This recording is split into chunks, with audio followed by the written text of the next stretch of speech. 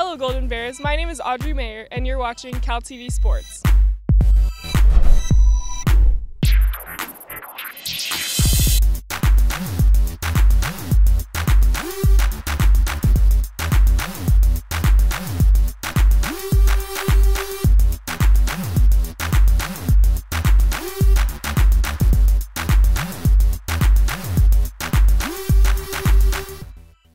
Last weekend, Cal hosted the Pac 7's Rugby Championship at Witter Rugby Field, where Cal defeated their rival Stanford a whopping 45 to 0.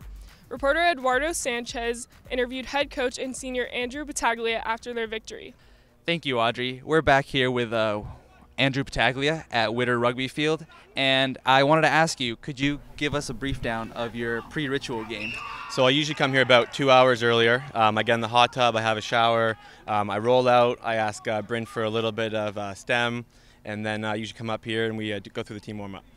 Great, great. And what's it like going through a training day at the rugby team? It's really intense. Um, very, it's exhausting. Um, we come up here usually uh, and we have probably about an hour and a half of sevens, and then we go down into the training room um, and we'll do seven specific uh, workouts or 15 specific workouts. All right, who's your uh, best teammate? My best teammate. Oh, that's hard. These guys, a great group of guys. Um, I love them all, and I, I can't really single out one. That's fair enough. All right. Well, one final question. What is your favorite rugby professional team? Favorite rugby? I would have to say the Canadian national team. Why? I'm from Canada. I gotta support the boys. There you go.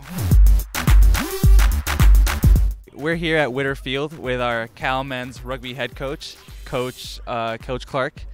There are a lot of teams out here at, at, the championships. How do you think Cal fared today?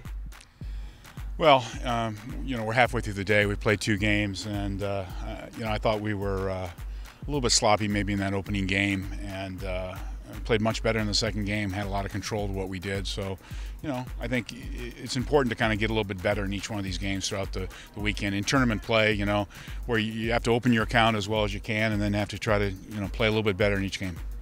Great, thank you. And uh, having a lot of experience with these teams.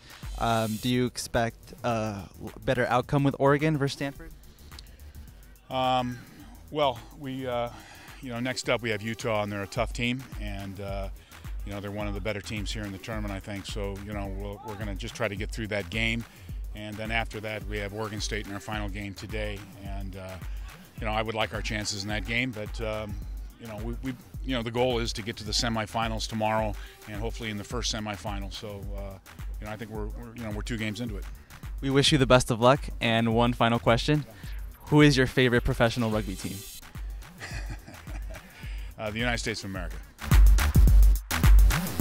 Well, there you have it. That's all we got here at Witter Rugby Field. Back to you, Audrey. That's it for today. Thanks for watching, and go Bears.